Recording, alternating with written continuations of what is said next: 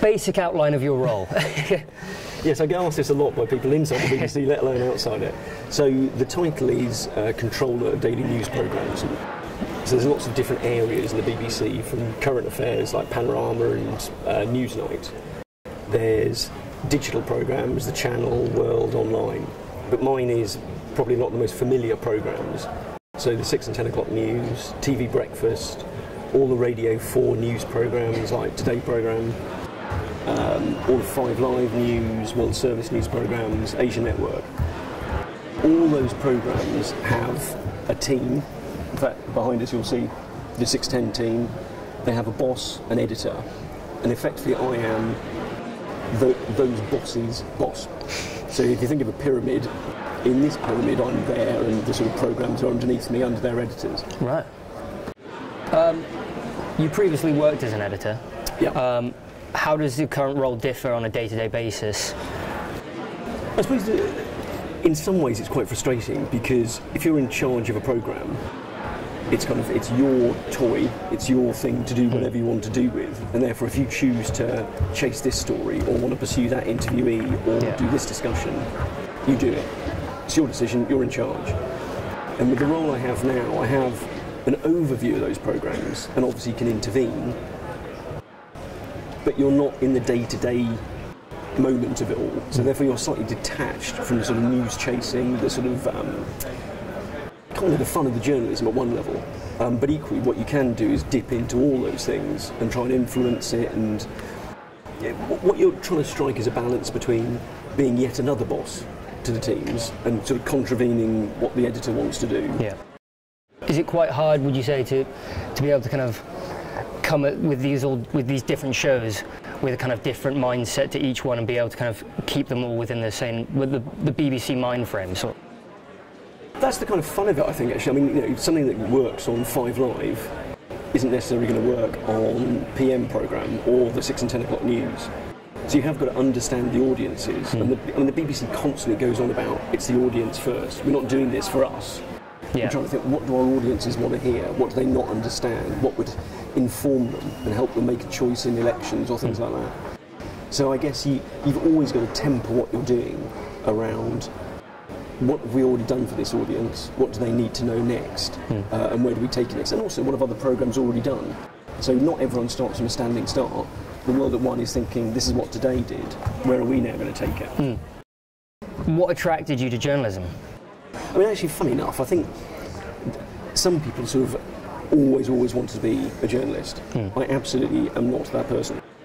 So in school, like everybody else, probably you want to be a footballer, you want to be in the army, you want to be an ambassador, you want to be any number of things.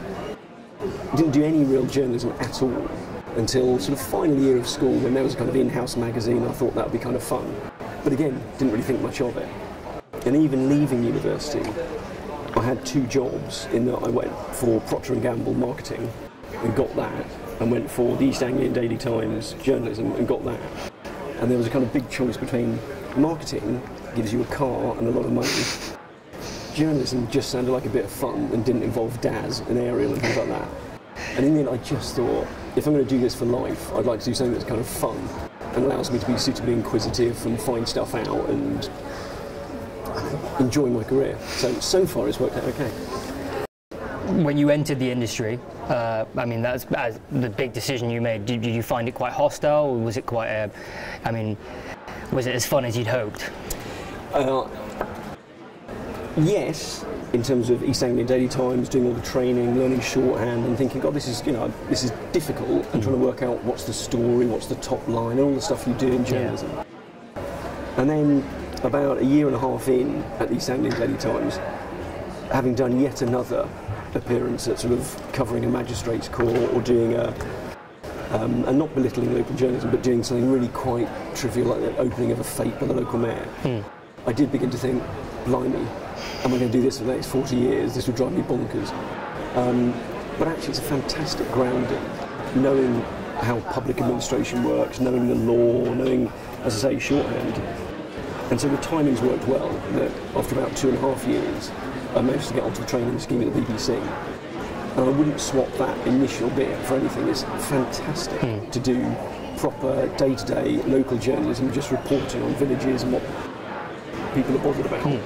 So on a on a day-to-day process such as today, what, what does a truck controller kind of do to affect the news that comes through the BBC? Uh, to be honest with you, one of the key things you do is ask questions, and it is as simple as that. It's about be honest about what do I still not understand. So we've covered it all morning, but I still don't really get why hmm. this is happening. I mean, in fact, we've just had a meeting just then about tuition fees and about the Ed Miliband speech, Yeah. and I'm still trying to get my head around.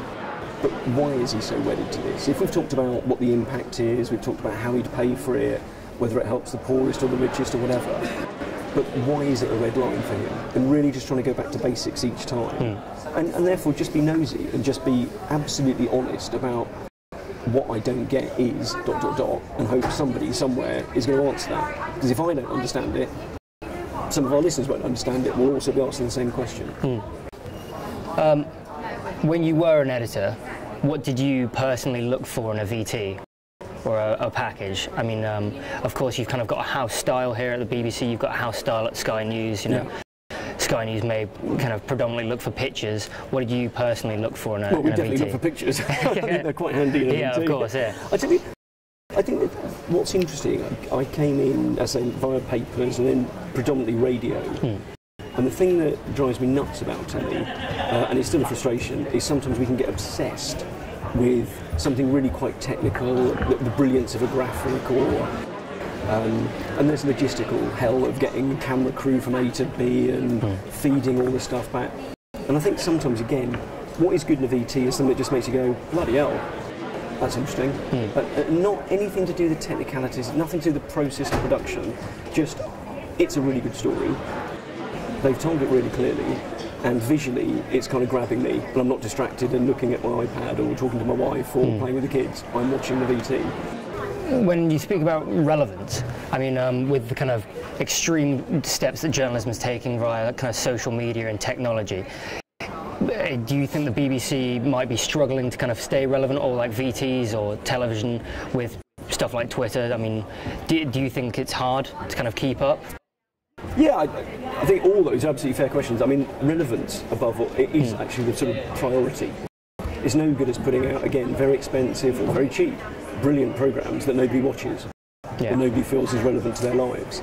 And I do think the whole thing about Twitter and Facebook and any number of sort of you know apps, actually, that then if you see them as threats, I think you're losing the battle. Whereas if you see them as, hold on, if this is where people are going, and this is how people are accessing news, then great, that's where we'll go. And hmm. we'll put our news there, and we'll respond to what they want in the way they want to see it. So there's no good taking a, a VT package for the 10 and plonking it on Facebook. People aren't consuming it in that way. But for me, I, I think, I mean, going back to the social media point, I don't think it's possible now to be a radio journalist or to be a TV journalist. You have to be able to do all these things, to be across all platforms, and clearly at the heart of that is digital. From your point of view, is it quite a priority right now in the upcome to the general election to kind of enhance more public, uh, you know, opinion and more public interaction? I think it's an absolute core goal. It is an- I mean, there's often been a, a debate actually about the BBC internally about is it the BBC's job to get people to vote? Or is it just the BBC's job to step back, inform, and you decide what you want to do? Yeah. I sort of come down on the side of I think it is actually one of our jobs is to encourage people to vote in an inherently democratic thing. If we are democratic we're for democracy, we're for public understanding, why would we draw the line at getting people to vote? Doesn't matter who they vote for, of course, that's their choice. If they want to spoil the ballot, that's fine. But it's an odd thing to not want to encourage people to participate in society in some way, and that's a pretty core way of doing it. So for us, it's absolutely about you know, exciting people, energising people about the election, about the fact that it affects everything we will do for the next five years. People should be engaged in that. And if we don't engage them, then we have failed in a pretty fundamental way.